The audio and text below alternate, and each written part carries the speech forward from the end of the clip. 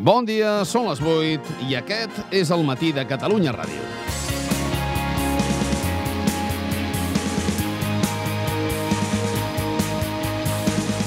El joc del gat i la rata es complica.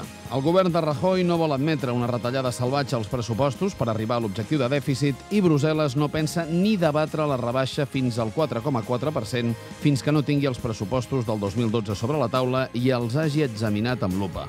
Això vol dir que qui primer haurà de moure fitxa serà el govern de Mariano Rajoy, elaborant els comptes i acostant-se tant com pugui el que li exigeixen les autoritats comunitàries. I després demanar que tinguin màniga ampla. Però la picaresca no funciona a Europa.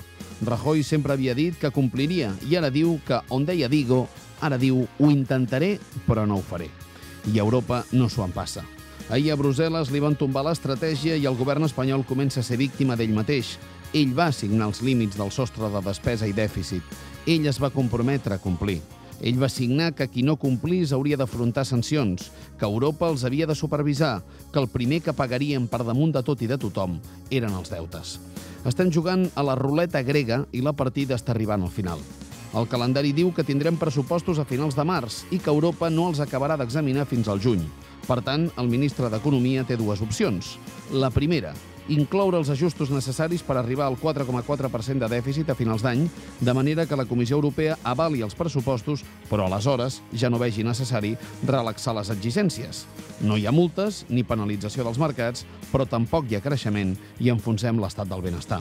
I la segona, demostrar amb números que és impossible retallar tant en un període de temps tan curt, guanyant-se la reprimenda de Brussel·les, però potser aconseguir que rebaixi l'objectiu multes, penalització dels mercats i d'Europa i potser, només potser, ens rebaixaran les condicions, tot i que ahir ens van dir que no. I països com Finlàndia o Suècia es van posicionar clarament en contra de la condescendència amb l'estat espanyol. Què triar en aquestes circumstàncies?